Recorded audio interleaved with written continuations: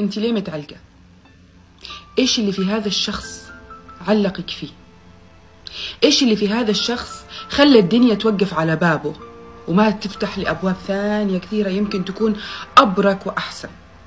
للبنات اللي يسألوني كثير لبنى كيف أفك التعلق؟ أي شعور تعلق؟ وراه شعور خوف من فقد شيء. اسألي نفسك إيش الشعور اللي هو أعطاك إياه وخلاك تعلقتي فيه؟